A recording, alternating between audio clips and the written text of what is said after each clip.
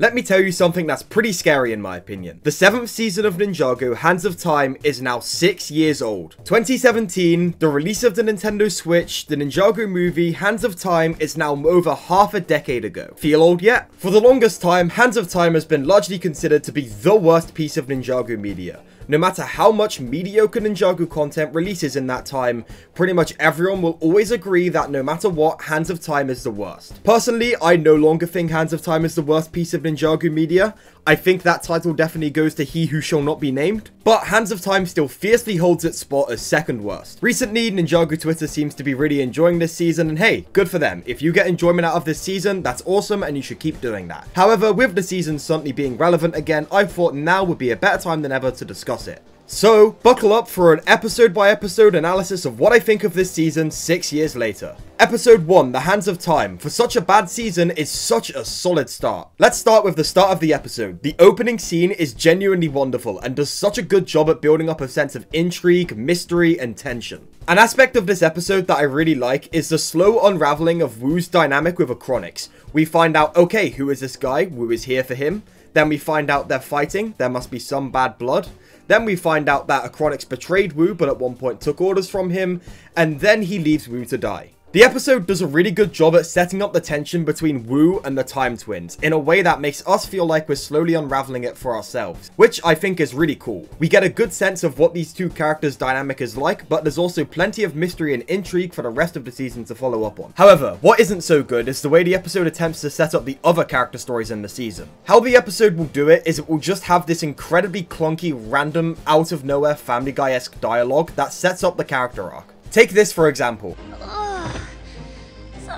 Wish I was still Samurai X instead of a ninja. When it comes to dialogue, it does not get more clunky and over-explanatory than that. Like, you'd have to be genuinely trying to make it more blatant than this. It's especially distracting because it happens in the middle of what's otherwise the really fast-paced and like high-stakes action scene, in which the whole thing is ground to a screeching halt so Nya can look at the camera and say, Gee, I sure miss being Samurai X.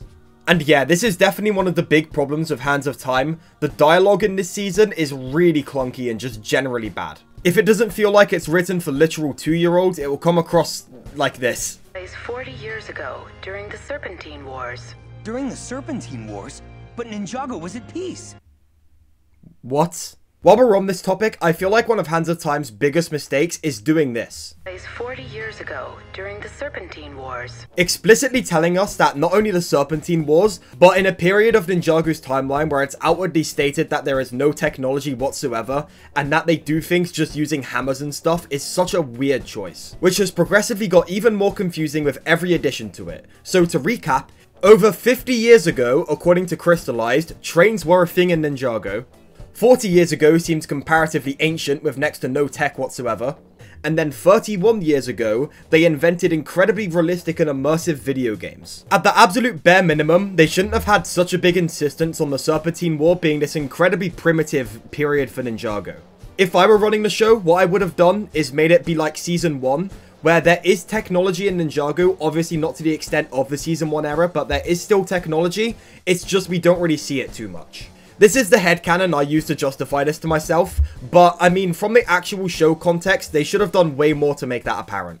And also, just attaching the number 40 years ago to the Serpentine War was just so pointless and has made for a bunch of confusion. I know of the amount of complaining I've just done, it sounds like I really don't like this episode, but I genuinely do think the first episode of Hands of Time is incredibly solid. A lot of the dialogue and character interactions is really fun, if a bit clunky at points. The animation mixes from being pretty bad to being pretty good, and the overall plot is decent so far. The episode definitely has problems, problems that would definitely get much worse as the season goes on, but just in isolation, this is a pretty great episode. Episode 2, The Hatching, is definitely an episode of Ninjago.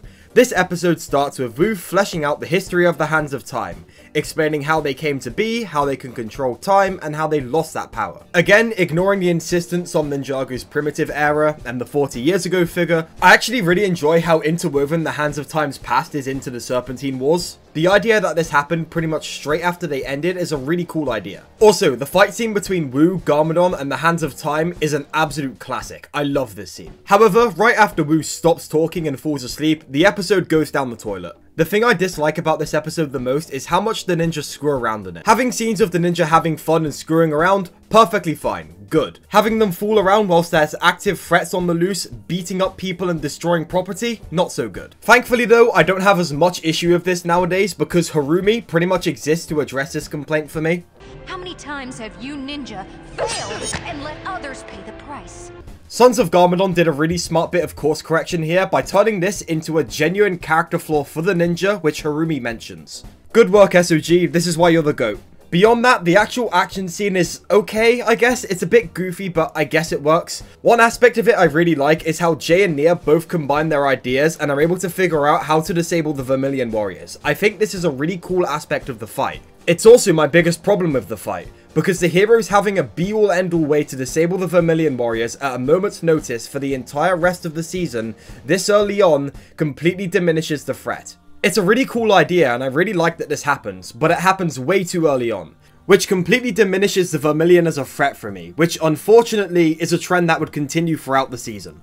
Because on to episode 3, introducing these jokers, Blunck and Raggmunk, quite possibly the two most forced comedic relief characters in all of Ninjago. Pretty much every scene these guys are in is actively made worse by their presence. And the Vermillion Warriors never get a chance to actually feel threatening to me. Not only because we're two episodes in and the ninja are already running circles around them, but also because we have these two jokers marring them down with every scene they appear in.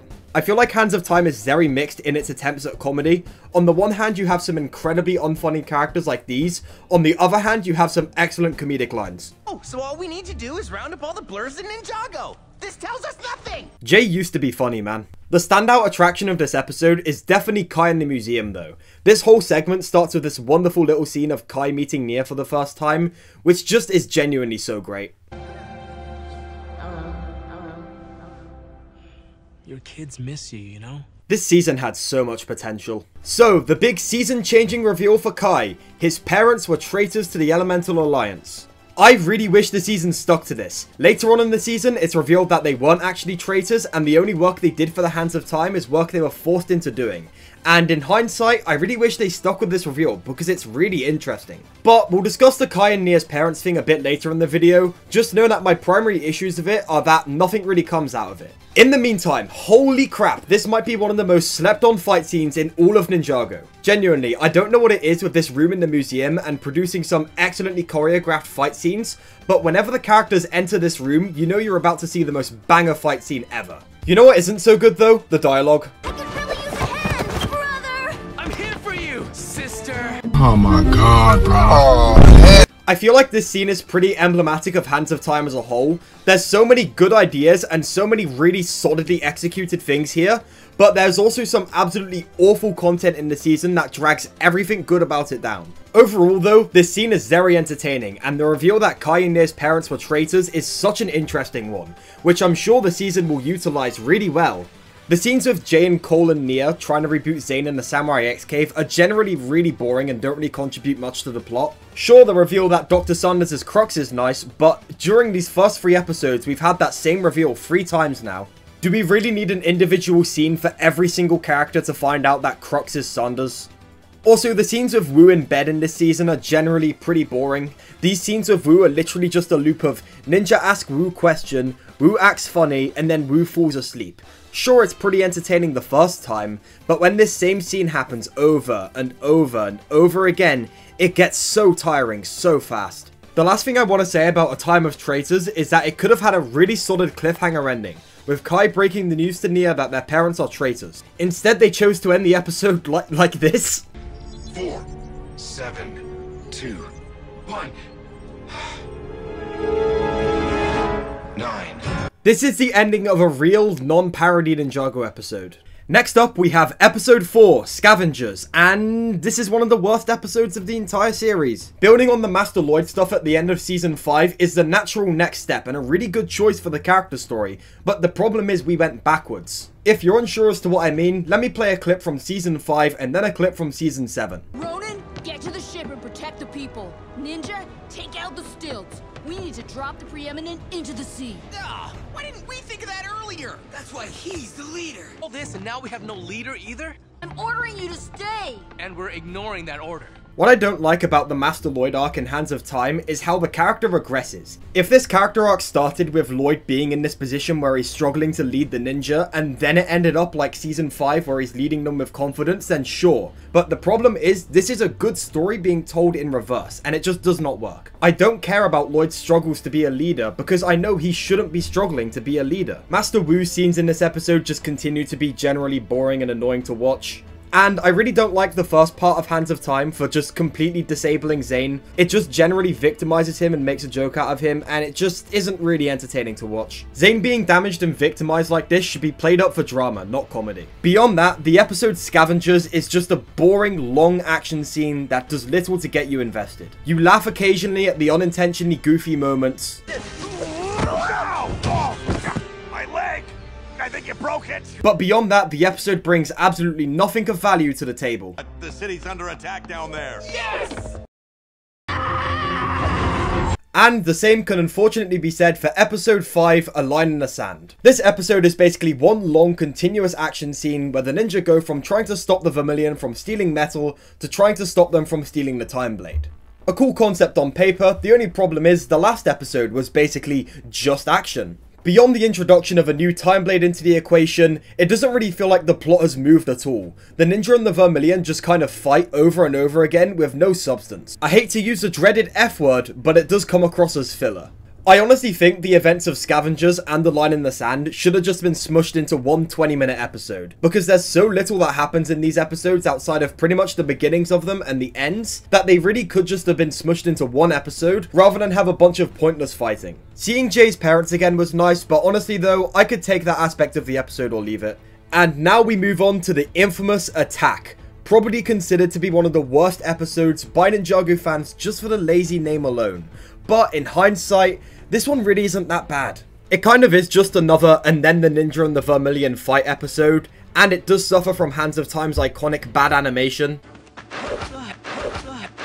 What I appreciate about this episode though is even though the plot is boring and kind of just a repeat of what happened in the last two episodes, what with it just being a big long fight scene, the episode has a message. And the message of the episode is that pride comes before a fall. Right when the ninja think they've won and suddenly start celebrating and let their guard down is when the hands of time are able to take everything from them and leave them completely hopeless. This is a genuinely great moment. It has a genuine message to be telling to the kids and also has a huge impact on the plot, what with the hands of time getting both time blades and capturing Wu. I still don't think it's a particularly outstanding episode, They didn't win.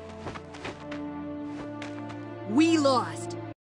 And I probably would have enjoyed it a lot more had the past two episodes not also just been basically constant fighting.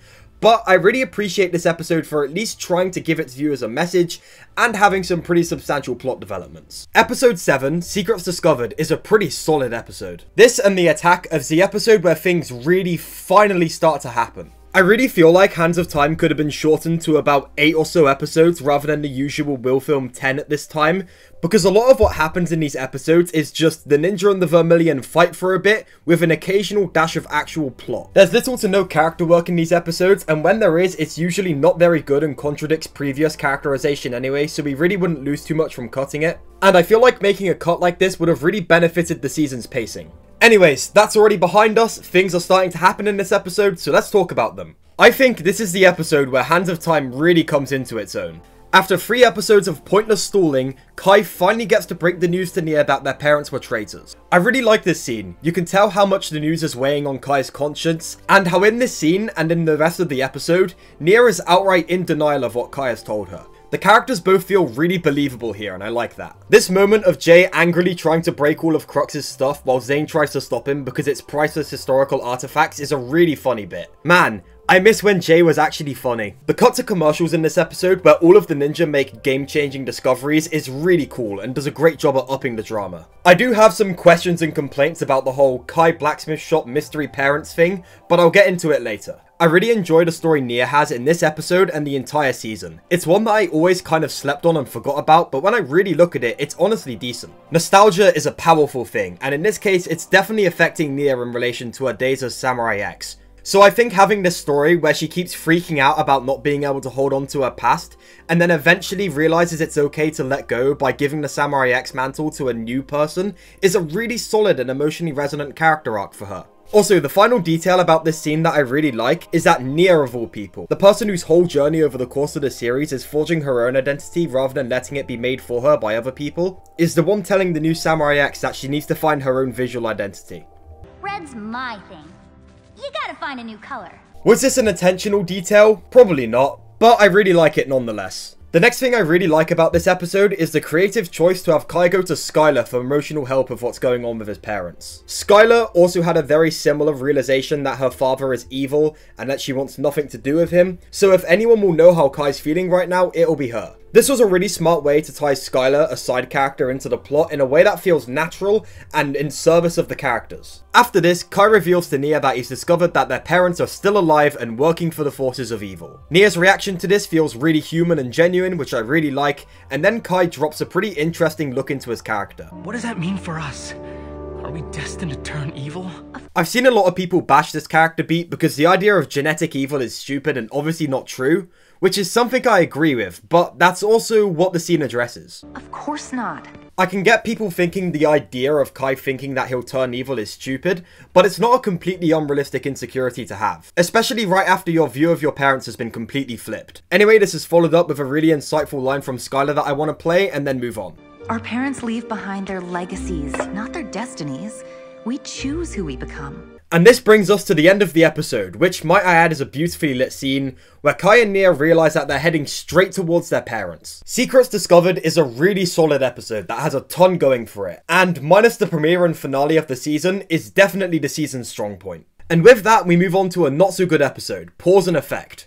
Now, is that to say that Pause and Effect is a bad episode outright? No, not at all. In fact, it's way better than the likes of Scavengers and A Line in the Sand. But I do have a fair chunk of problems with this episode. In the first scene of the episode, we see... Cole freaking out over a slug? I really enjoyed this first scene of the episode. It's a really charming moment that gives us a good bit of the ninja laying out their plan of attack, and not to mention, this line from Zane is one of my favourite jokes in the entire show. And Lloyd laying out the plan of attack? but mostly Cole freaking out. I love these kinds of moments when Zane is just completely out of it and just doesn't pick up on an obvious social cue. It's a really charming aspect of the character to me, and the fact that Jay just completely goes along with it makes the line all the more funny. After that, we get what possibly is the most memorable scene of the entire season, Wu's failure dream. In this dream, we see Wu haunted by all of his worst failures, including his failure to win over Misako, his failure to save his brother from falling to evil, his failure to stop Morro from going down the path he did, and his latest failure, fighting with Chronix alone, allowing the Time Twins to gain power. This is an excellent, excellent scene, and one that does a wonderful job at giving us an insight into how Wu feels at the minute, which is going to hugely play into the ending of his character arc in the season finale, which we're going to discuss when we get to that episode. And then the episode kind of falls off a cliff. A lot of it is Blunck and Raggmunk stuff, with their guarding of Wu, and it's really boring and unfunny, as you can imagine. We also see Cole and Jay trying to free the Carpenters the Hands of Time stole, and honestly, this is a pretty solid plotline, but not really enough to save the episode for me. Also, Zane spends half of this episode kneeling perfectly still and not doing anything until Cyrus Borg returns to the swamp, which is really funny. Okay, with all that window dressing out of the way, it's time to discuss the elephant of the room, Kai and Nya's parents. This episode reveals that Ray and Maya were not traitors to the Elemental Alliance, and the only reason they've been working for the Hands of Time is because they've been forced to. This is a reveal I'm very mixed on.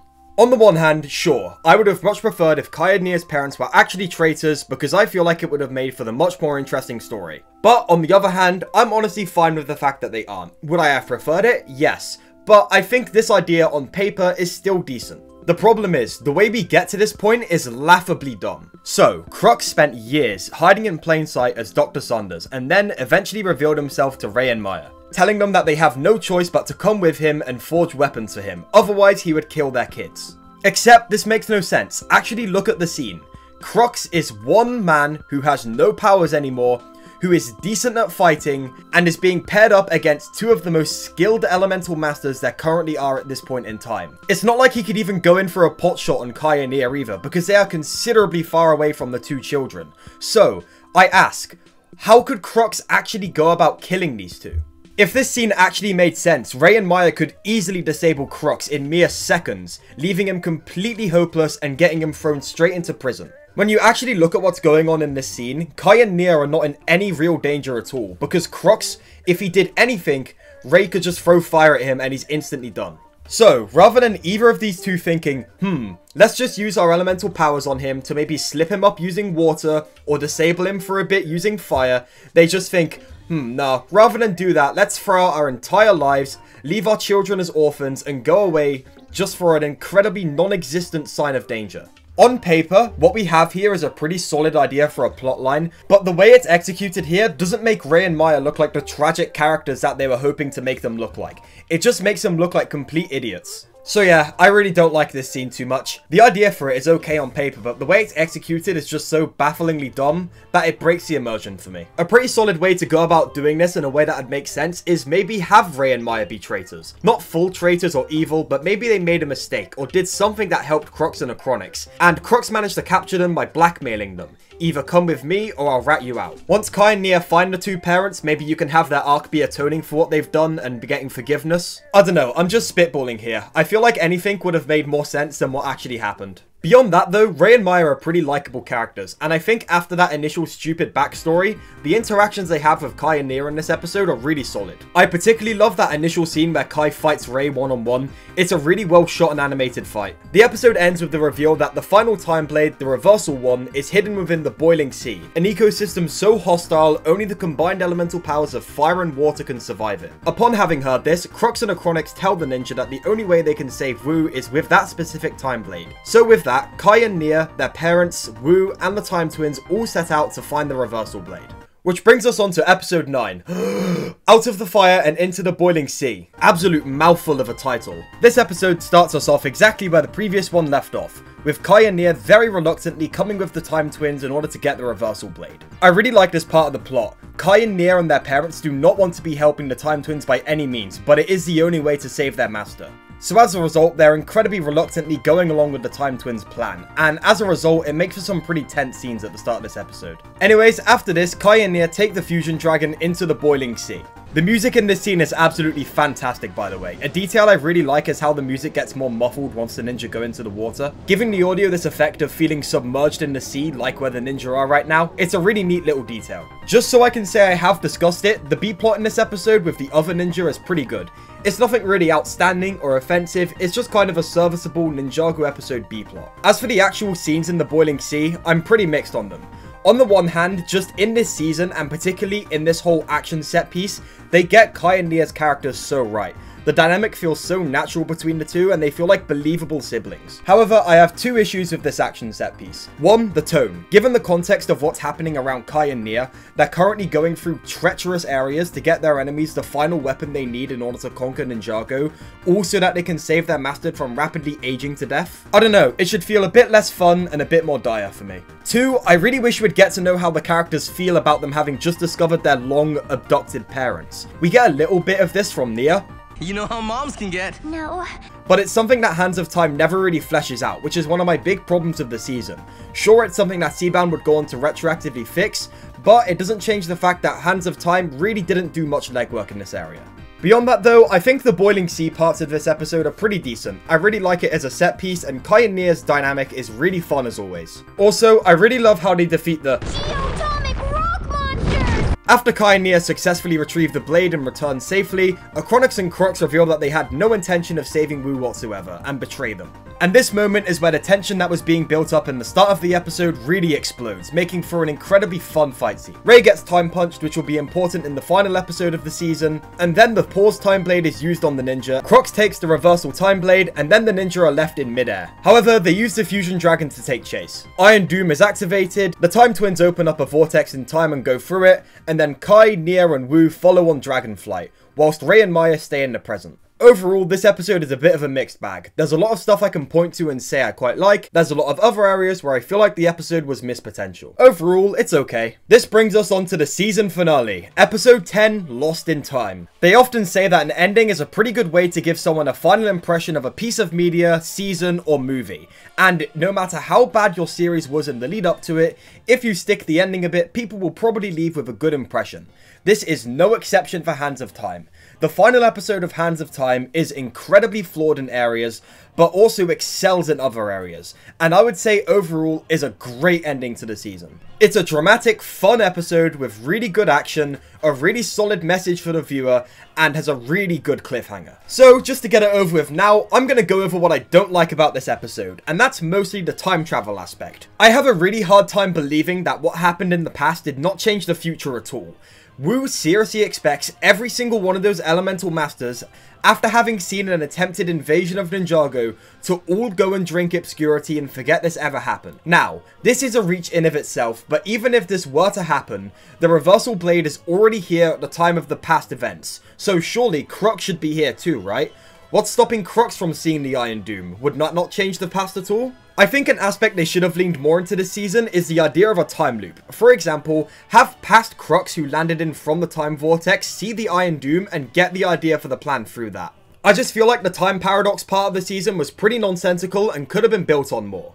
Now, with that out of the way, I really, really liked this episode. Something I really appreciate about Hands of Time is the restraint the season has with using time travel. They totally could have just had the entire season take place in the past during the Serpentine Wars or something, and fill it in with a bunch of easy references and cameos. They could have totally done this and got away with it, but instead, they saved time travel as a big finale spectacle, which makes the actual concept of time travel feel all the more special. Beyond the really stupid logic issues in this scene, the battle between Acronix, Krux, the Elemental Masters, and Kai and Nya is really fun. An aspect of it I really like is how Kai and Nya pretend to be their parents in order to not disturb the timeline. An aspect of the episode I don't like so much is the ending the writers gave to the Vermillion Generals. Sure, Blunck and Raggmunk, yeah, the Hands of Time killing them makes perfect sense, but why betray Machia? I kind of don't like this trope of villains getting really powerful and then just deciding to betray their allies for no reason. If they have something to actively gain from betraying their allies, then sure, but they stand to gain nothing from betraying Machia. It's just something done to make them look eviler which I just felt was kind of unnecessary. But on the other hand, I really don't care about Machia that much, so it really doesn't bother me what happens to this character.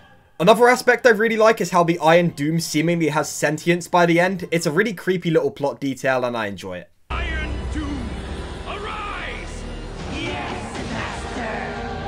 Okay, it's time to get into the standout aspect of this episode, Master Wu and the themes of failure. Wu started this season by making an incredibly cocky and ill-advised decision, thinking he could take on Acronix all on his own. The consequences of this were pretty devastating. It led to Acronix being able to escape, link up with his brother, and cause this whole mess to happen. It also caused Acronix to hit Wu with the Time Punch, which led to him rapidly aging and suffering throughout the entire season, having dreams about his other failures. But luckily, Kai and Nya are able to use the Reversal Blade to save him. Quick tangent, Nya getting the reversal blade of the past and saving Wu of that was a really smart story choice. Wu has finally come to and has had a lot of time to reflect on his mistakes, and rather than giving in to despair, he tells Kai this. Failure is often temporary, Kai.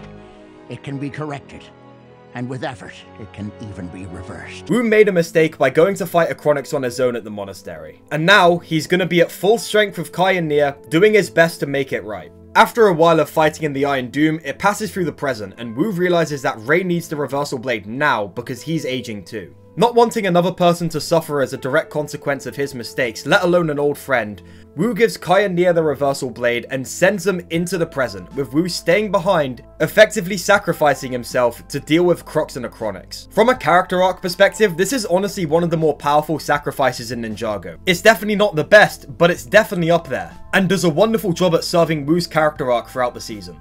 By staying behind on the Iron Doom and potentially sacrificing his entire future, Wu has atoned for his mistakes and reversed the damages the best he can. After this wonderful character moment for Wu, we go back to the present, where Kai and Nya save their father. After this, the ninja clock what happened with Wu and realize they don't have a leader, until they elect Lloyd to take his place. I don't like Lloyd's master arc over the course of the season because it feels contradictory to what came before, but this ending scene is a really solid bit of progression for the character. Seeing him have to step up in place of Wu was a really smart choice. And then the ninja vow that they will not rest until they find out where their master is. And on that note, the season ends. Hands of Time is an incredibly mixed bag of a season. There is some stuff that's done bafflingly wrong, but other stuff that's done so, so well. Was the season a misunderstood masterpiece? Probably not.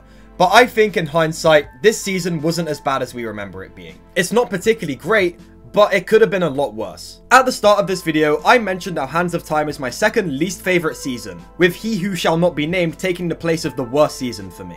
And in all honesty, after having watched this season again and did this full retrospective on it, I can honestly say that this season could well bump up a few more spots in my ranking. It's definitely not a particularly great season of Ninjago, but I might say it's now my fourth least favourite or third least favourite, rather than the first or second. It is still very bad in areas. The animation is sometimes really good, but also sometimes very bad. The dialogue is pretty mixed, usually resulting in a loss, and a lot of the character arcs feel like they could have been fleshed out way more or just feel completely misguided. That said, there's also a lot to enjoy in this season, and I hope this video opened up your eyes to some of it. What's honestly a miracle to me is how watchable this season is. This and Day of the Departed were produced super last minute, in the absence of the Ninjago movie, with it being delayed from 2016 to 2017. There needed to be content to fill that gap. So they brought on new writer David Shayne, who had no experience with Ninjago in the past, pulled some old Ninjago movie stuff from off the shelf, and gave him a set of incredibly ambitious goals. Delve deep into Ninjago's past and flesh out Kai and Nya's parents,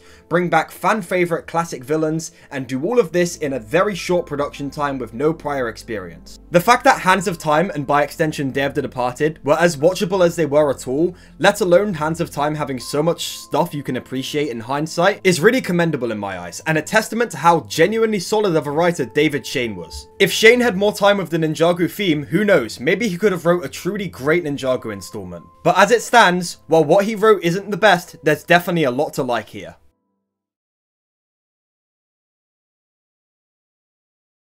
But Scavengers and A Line in the Sand suck. Those episodes are going in the trash, along with my hype for Crystallized.